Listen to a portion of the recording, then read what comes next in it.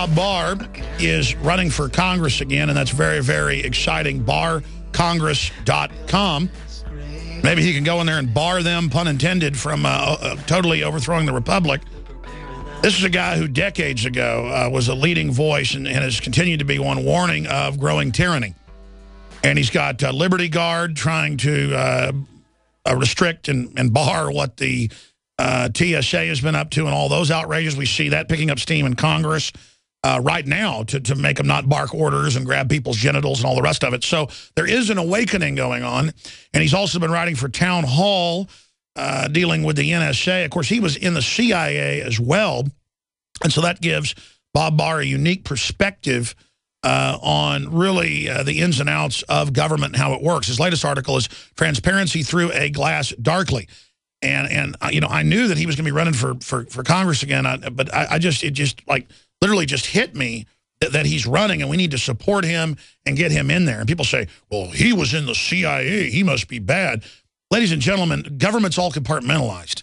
And people in the military and people I know that have been in the CIA are some of the most patriotic, informed, hardworking people. It's that there's compartmentalized groups using national security covers to be able to carry out their own nefarious deeds. That's why we need transparency. And that's why he's always been a leading light in transparency. And I only raise that because it's not even really ever a controversy. I just hear, well, he says a lot of good stuff, but he's in the CIA. He, he's helped get a lot of good legislation passed and has helped block a lot of legislation. We don't have Ron Paul in Congress anymore. He was in Congress, got out of Congress, got back in Congress. We need to send Bob Barr back to Congress. And I didn't mean to turn this into a campaign promotion here, but uh, it just hit me. Well, I've got Bob Barr on. I'm about to interrogate him about the NSA and all the stuff that's going on and, and you know, get his take on it and how to turn it around. And, and I'm not even going to mention he's running for Congress. So first off, sir, glad that you're throwing your hat back in the ring. I know it's a lot of work, and uh, but we really appreciate that. And tell us about the campaign and what your goals are there in Georgia. Thank you so much, uh, Alex. That's a great uh, pleasure and honor once again to uh, to be with you and your many many listeners uh, across the land. Uh, yeah, uh, I was at a at a forum last night just outside of Atlanta, where my district is, and I was asked a question. you know, you served in the Congress before. You were President Reagan's U.S. attorney. You have background in the CIA. You know, you could just sort of retire and sit back and take it easy. Why are you getting back into the fray? Why are you running again for the Congress? And I said, it's simple. I love this country too much not to get back into the arena. Uh, with what I see happening, Alex, you were there. You mentioned a couple of the things just a few minutes ago that I was working on uh, years and years ago when I was in the Congress, uh, to uh, when we first started to learn about uh, the abuses by NSA and, and the electronic surveillance, uh, the illegal stuff going on, and what the FBI was doing through Project Carnivore and Project Echelon. and it's even worse nowadays. Uh, the reason why it's so important for you to be continue to be out there to raise these issues, both yourself and your many guests, is because uh, government is constantly and forever, our founding fathers understood this, looking for ways to increase its power at the expense of individual liberty. And if you let up, uh, then uh, it's it's just going to keep going and going and going. It's worse now than it was before, and that's why I want to step in there and make sure that I do my part with whatever years the good Lord has left for me on this earth to rein in government power. I mean, it's it's almost to the point. It's not to the point yet, but it's almost to the point where it's going to be irreversible. And I ain't going to sleep until I do everything I can to stop it uh, just following it in the news, even though the media has been trying to ignore you or attack you both, uh, you got a good chance of winning. What do we do to help get you into Congress for our listeners? Because it doesn't matter if people don't live in Georgia. They should be supporting you however they can.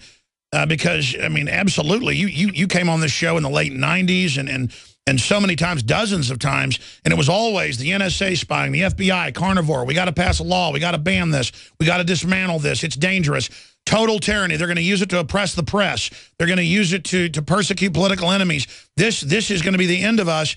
And really, even more than Ron Paul on the subject of NSA and FBI illegal surveillance, you were there because uh, obviously you understand it more than most members of Congress who are just lawyers or just doctors. You know, you've been you know, inside uh, secret operations and things. You understand the dangers. I mean, explain to us, as you've done before, um, why uh, basic freedom is based in having privacy, and without privacy, you have no freedom.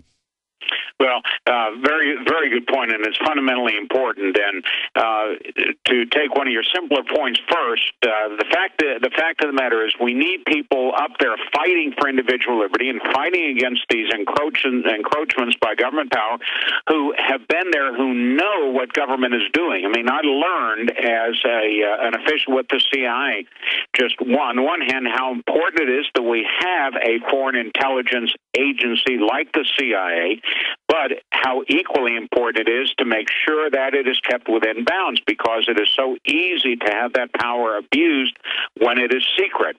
Similarly, when I served as President Reagan's uh, U.S. Attorney in, in Atlanta, I learned how important it is certainly to have good prosecutors to uphold, uphold their laws and protect the public.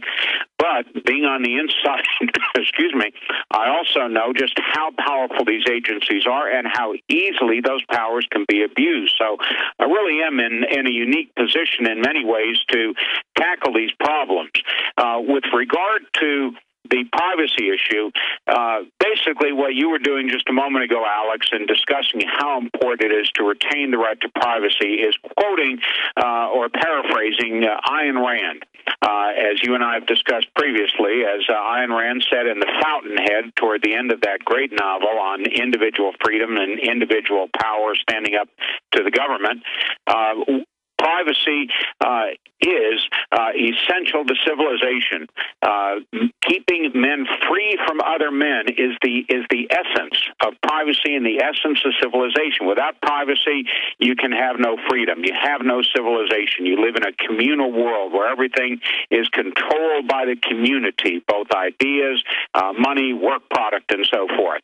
So, maintaining the right to privacy, as codified, for example, uh, in the fourth Fourth Amendment to our Constitution that the government cannot invade your privacy by searching your uh, personal uh, records, belongings, things, and homes uh, is essential uh, to freedom. It's essential to liberty. Uh, our founding fathers uh, understood that. They understood it long before Ayn Rand wrote about it 150 years later in the in the 1940s. and what has been happening since the days when I worked at the CIA back in the 1970s, where we had a very clear demarcation uh, line, uh, very clearly demarcated between domestic and international affairs. Uh, that line has been blurred to the point where, in the minds of the NSA and these folks up there, like Clapper uh, and uh, the Brennan and the others uh, up there, it no longer exists. they think that as long as they say we're doing something in the name of national security, as long as we're fighting terrorism, then we can do whatever we want, wherever we want, to whoever we want. And that is a philosophy, that is a recipe for tyranny. Well, it certainly is. And then look at how they've used the NSA on Fox News, the Associated Press, how they've used the IRS to persecute Tea Party pro-life groups. Uh, now they're persecuting secret conservative Hollywood groups. I mean, this is beyond McCarthy times 10.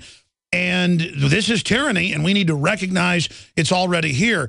It was a Senator Ted Cruz that said that uh, Obama is frightening, uh, that he's terrifying, that he's dangerous.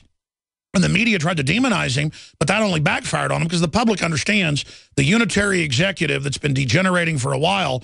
I'm not saying Obama's going to stay in office, but they're turning the executive with the bureaucracy and the interests that run it into a, a 2.0 modern synthetic oligarchy or, or, or dictatorship, uh, you know, those that control the presidency like a, like a control panel, a dictatorial control panel, and then the president's kind of a window hanging there. Uh, I mean, do you agree with that analogy? And uh, at what point are we historically? Because, uh, I mean, even Jonathan Turley know, said, we're coming to the point, other uh, folks have said in Congress that the only option would be armed rebellion, which obviously we don't want, and the system's set up for that, and it, it would cause a civil war. So what do you do then, uh, and, and what point have we reached, Congressman?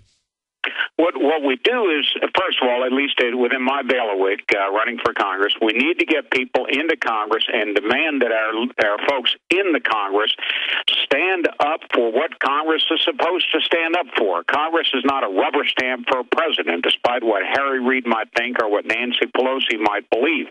Congress has to stand up to the president, regardless of the political party of the president, because they are protecting. They are one of they are in the vanguards, one of the protectors of our fundamental liberty. And part of what Congress has an absolute responsibility to do, and they time and time again in modern years have failed to do this, and that is to stand up to presidents who basically slap Congress around, say, I'm not going to do what the law says. I'm going to pass, uh, sign an executive order and do what I want. I'm not going to do what you, the Congress, have directed by lawfully passed legislation. And Congress sits back, and what do they do, Alex? They say, Thank you, sir. May we have another, sir. Every time that happens, we move further down the road toward consolidating absolute power in the presidency and weakening the fundamental pillars of our representative democracy because Congress cedes power to the president when they do not stand up to the president. Sure. That's the problem that we see over and over and over again, and it happens under Republican presidents the same as Democratic presidents, except this one is much worse. Now, uh, expanding on that, you know, Ted Cruz called him frightening and dangerous. We just pulled up the Houston Chronicle uh, article on that. How would you describe Obama? I mean, what is the word for it? Because uh, it doesn't matter if it's energy or guns or borders, legalizing the illegals, getting Obamacare passed and saying he'll selectively enforce it, and Congress says, okay, and he'll selectively decide what to do with the NSA, okay. Uh, Congress passing the buck and then the state of Texas was about to pass a law unanimously in the House, so they killed it in the Senate uh, two years ago, as you know. And, and then Obama said, I will have F-16s. This was in the news. It wasn't even a big deal. It was just a footnote. We will blockade aircraft, and, and no aircraft will be allowed to fly in Texas. I mean, this is like the stuff that started the Civil War. That's why I'm, I'm going there. I mean, this is already getting crazy. It, it is it is no longer hypothetical. When you have statements uh, like that, and when you have statements like the president issued the other day, basically throwing down the gauntlet uh, to the Congress, saying, "I don't care what you do. I have a pen. I can order people to do what I want, regardless of what Congress says, regardless of what the laws of this country say." And Congress uh, just sits back and does nothing. We, the people, have to rise up and demand that they do something. Get these guys out of office that are in there who just sit back, sort of, uh, you know, and sleepwalk through their terms in the Congress. We need people that will fight, uh, and I'm not saying I'm the only one. There are some other good folks up there and some good candidates around the country. But whether it's uh, whether you're talking about immigration law, whether you're talking about national security in Benghazi, whether you're talking about the fundamental right to privacy uh, and uh, allowing NSA to violate the Constitution and the laws of this land, we need people up there that understand these issues and have the backbone, as I've proven I did when I stood up to Bill Clinton and led the impeachment of that scoundrel a generation ago. Uh, we need these people in the Congress, and that's why I'm running. And we've got Obama saying things like he's good at killing people. I mean, even the people I know that are Army and, and Navy uh, and, uh, you know, Special Forces and, and Marines. I mean, the, the guys, uh, no one, even if he killed people with his bare hands, you don't make statements like, I'm good at killing people. I think it shows a narcissistic really uh, amateurism of Obama, and it, and it frightens me to think that that these people are so into red carpets, so into the jets, so into the month-long vacations, to know that even even if we had a corrupt elite, if they if they weren't so reckless, it wouldn't be as scary. I mean, I really have never been a, a, you know a big fan of the theory that it's a government incompetence theory. But more and more, you see the foreign policies uncoordinated. It's crazy. I mean, funding Al-Qaeda to attack uh, Syria. What's your take on that? Well, it, it's on the one hand, one one could be charitable, as as you uncharacteristically were just a moment ago, in saying this is just amateurism. Uh, the, what they're doing, you could you could sort of chalk it up to, well, they just don't really understand the Middle East. They don't understand the international affairs. I mean, after all, this guy was nothing but a, a community organizer and a, and a and a faux constitutional law professor. Uh, the fact of the matter is, uh, I think it goes deeper than that. Oh, I agree. It goes deeper than simply uh, their It's worse than they simply don't know what they're doing.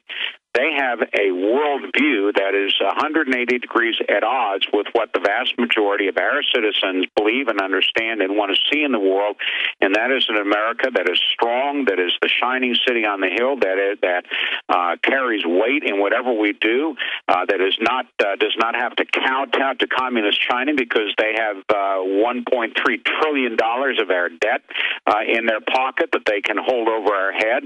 Uh, that's the sort of thing that costs us dearly, even in non economic terms as well, because it reduces the flexibility